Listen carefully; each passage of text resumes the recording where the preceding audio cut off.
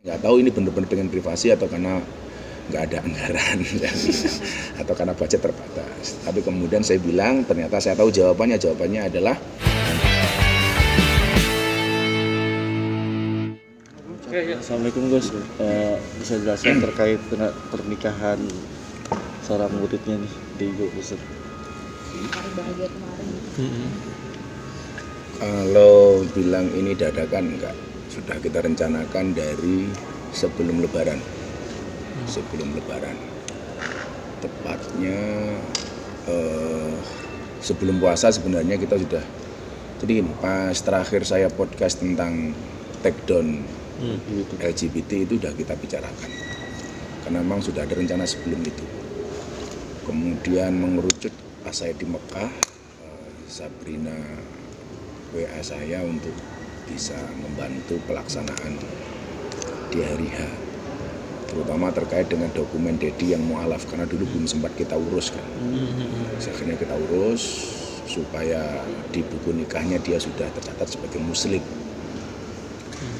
Terus ya akhirnya berlanjut sampai kemudian hari H. Eh, memang dari awal Mas Dedi mengendaki ya nggak usah ribut-ribut lah yang penting kita nikah kira-kira begitu kronologinya. Eh, Gus bisa dikatakan ini kan kayak terkesan tertutup sama media. Seperti apa sih Gus? Eh, sebenarnya bukan tertutup. Memang dari awal dia bilang nanti kalau ketemu media Gus bantu aja ya. Karena memang dia pengen khusyuk. Bahkan sampai jangankan media luar medsos dia sendiri kan di nonaktifkan selama seminggu. Karena mau fokus di acara kemarin. Makanya bukan apa eh kemarin ketika akad nikah itu yang hadir cuma sekitar 20-an orang keluarga semua. Dari kedua pihak. Ke semua kedua pihak. Itu gimana Pak suasananya? Eh, boleh Suasananya ceritakan sangat syahdu karena memang kita konsep begitu eh, simple, simple eh, di lokasi yang sama, cuman sekitar 20 orang, saksinya kebetulan eh, Pak Jaksa Agung, beliau minta saya untuk bisa menghubungi Pak Jaksa Agung karena memang Pak Jaksa Agung juga dulu saya kenalkan dengan Mas Dedi dan dekat beberapa kali hadir di podcast kan. Kemudian sama Ayah Hendro Priyono, kemudian full keluarga gak ada orang luar sama sekali. Mungkin ya kecuali saya.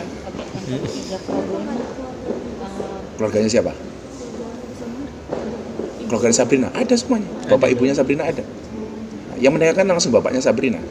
Saya hanya dampingi saya khutbah nikah. Kemudian yang eh, sebagai wali langsung bapaknya si Sabrina.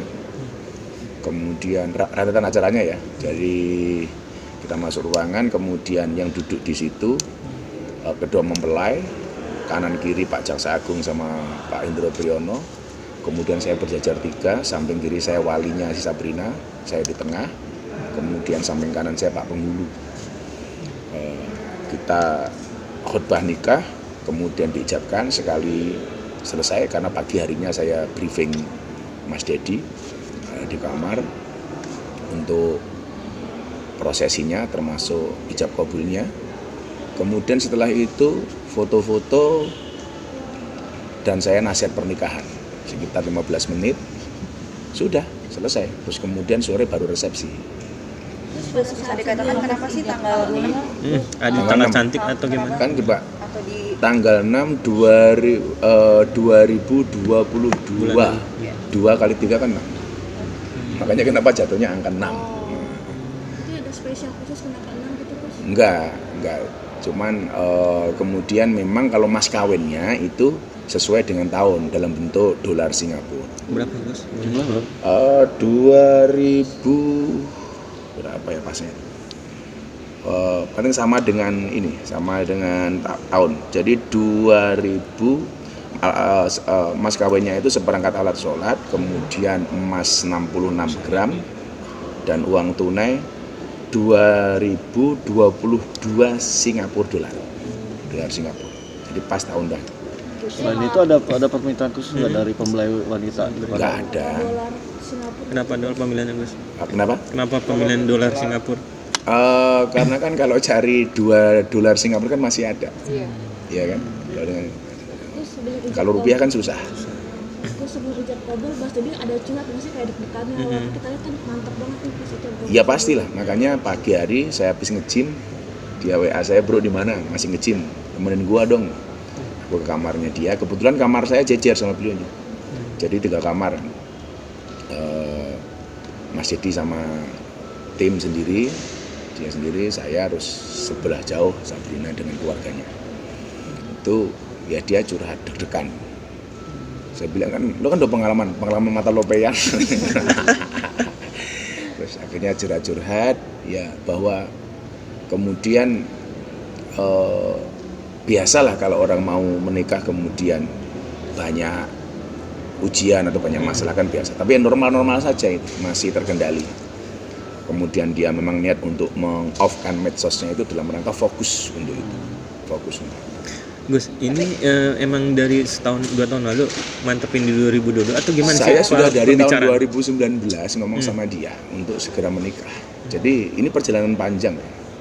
Tapi kan memang ada beberapa hal yang harus diselesaikan, umpamanya dengan masalah keluarga besar, masalah Aska sendiri supaya betul-betul mantap menerima ibu yang ini si Sabrina. Jadi ya lamanya itu karena proses pemantapan dan proses meyakinkan semua pihak, Aska sendiri, keluarganya Sabrina sendiri, dan lain-lain. Tapi alhamdulillah berakhir indah. Gimana respon Aska sendiri gimana? Aska, kebetulan pas saya lagi ngobrol sama Mas Jadi di kamar, dia datang. Terus saya bahas, saya, saya tanyakan sama dia, how about your new mom? Dia ketawa, ya sudah. Dengan sama saya kan Aska orangnya datar-datar gitu aja. Datar gitu aja. Dan masih sempat bercanda kan di postingannya, ketika posting wajahnya Sabrina nggak dilihatin. Tapi artinya memang memperkarakannya sudah lama ya udah lama, udah lama. Dan saya, saya sendiri sebagai sahabatnya Dedi sudah minta sekitar tahun 2019. Hmm. saya minta setelah dia sahadat itu saya sering komunikasi gue harus ngapain lagi bro? Ya daripada ini muncul semua pertanyaan ya kamu nikah. Makanya semalam itu kemarin dan semalam kebetulan saya khutbah nikah eh, nasihat nikahnya dua kali. Jadi semalam habis akad dan eh kemarin habis akad dan malamnya ketika acara resepsi dibuka sama eh, opening Mas Dedi sama Sabrina sendiri langsung. Kemudian saya diminta untuk berdoa dan memanjatkan syukur serta memberikan nasihat ketika resepsi itu. Saya bilang ini perjalanan panjang dan masih tak garapi. Gitu. Mungkin ada pertanyaan dari para hadirin saya bilang, kenapa ini privasi? Kenapa kok begitu sederhana dan undangannya nggak banyak, cuma 50 orang kan, 50 seat semalam. Nah, saya bilang sama Dedi, ini saya nggak tahu ini benar-benar pengen privasi atau karena nggak ada anggaran atau karena budget terbatas. Tapi kemudian saya bilang ternyata saya tahu jawabannya jawabannya adalah eh, bahwa pernikahan itu tidak harus mewah yang penting sah. Yang wajib itu mahar bukan mahal. Ah, jadi seneng banget ya. Bener lu bilang gua. ya cuma 50 orang. Itu emang konsepnya intimate wedding ya? Iya, jadi eh, apa namanya? Padahal saya tahu gitu, begitu banyak vendors, begitu banyak eh, TV yang menawarkan dia untuk live seperti artis-artis yang lain. Beliaunya nggak mau. Bingung. Sekarang kemarin saya nggak mau lah bro, udah saya pengen ini sakral, nggak mau diributin dengan non non teknis. Termasuk ada beberapa pihak manajemen TV yang kontak saya, bisa nggak sih kalau ada di jadi nikah eh, di live nanti gimana dan lain sebagainya. Jadi itu eh, betul-betul core of the core intinya inti keluarga. Dan saya Tamu sendiri kayaknya kalau namanya kakak Lina gitu terus ada perbedaan nggak? nggak ada, nggak ada, nggak ada. Saya tanya, bro kenapa nggak ngundang teman artis sama sekali? Lo kebayang nggak bro, teman gue itu banyak. Kalau gue undang satu, yang lain pasti mau diundang. Jadi yang maunya mau khusus nggak jadi kan. Jadi bukan gue nggak nggak respect sama mereka, nggak menghormati mereka. Gue hormat justru karena gue menghormati mereka, mereka nggak tak undang, nggak mau ngerepotin. Ya kalau Dedi ngundang satu teman kan pasti yang lain ngiri kan. Nah, makanya alasan itulah kemudian nggak ngundang yang lain. Atau nanti Kalau kali Gus kali di lain kali waktu gitu baru pesta. resepsinya pestanya. Hmm, gimana? Sampai hari ini nggak ada. belum ada. Ya resepsinya semalam itu sudah Oh, udah sekalian ya. sekalian. Terus katanya souvenirnya menarik. Souvenirnya parfum. Souvenirnya parfum. ada arti tersendiri Hmm. Eh, ya biar keluarganya wangi lah nggak kayak keluarga Terus katanya hadiah hadiah dari Gus akan eh, mengumrohkan misalnya berangkat umroh haji. saya bilang lo minta hadiah apa mah dari gua? Mau haji mau umroh? Gua jabanin saya bilang. Lu lantar gampang gitu. Ya kan, kan dia tanya lu minta kado apa dari gua? Saya bilang gua udah sering ngerepotin lu malah mau minta kado dia bilang. Ya alhamdulillah itu kalau dari daftar undangan tuh mungkin yang orang luar semalam resepsi itu ada Pak Andro Priyono dengan Mas Dias kemudian ada Mas Gilang sama Mbak Sandi. Karena kebetulan Sandi ini sama Sabrina dekat banget dekat banget. Eh, sehingga dia datang ya cuman itu kebetulan saya satu meja dengan Mas Gilang. Terus siapa ya? Ya keluarga semua lah. Ya cuman itu tak acaranya sederhana begitu kalau opening saya sambutan berdoa. Kemudian kita makan malam. Setelah itu ada dua orang yang diminta untuk memberikan speed ayah Hendro Priyono sama satunya siapa itu saya lupa. Terus kemudian diakhiri dengan semua tamu foto-foto di stage. Dan sampai ini saya belum dapat fotonya itu karena masih dipredali satu-satu masih di dan memang eh, Mas Jadi minta pokoknya sebelum jam 9 nggak ada yang posting sama sekali sebelum acara itu berakhir. Makanya ke semalam Sabrina sudah posting baru saya berani posting. Karena memang permintaan Mas Jadi Berarti acaranya dari sore ya?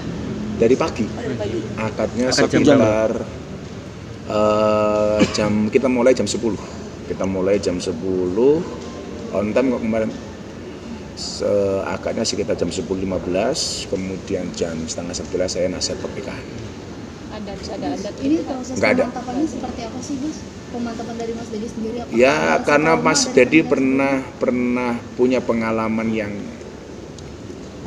gagal kan pernah divorce ya tentunya lebih berhati-hati kan lebih berhati-hati makanya nasihat pernikahan saya banyak soal itu kan saya bilang banyak perempuan mencari suami soleh banyak laki-laki mencari wanita solehah. Pertanyaannya adalah kenapa mencari bukan menjadi? Kenapa mencari? Bukan menjadi. Ya menjadi soleh menjadi soleha jangan mencari yang soleheh eh, atau mencari yang soleh.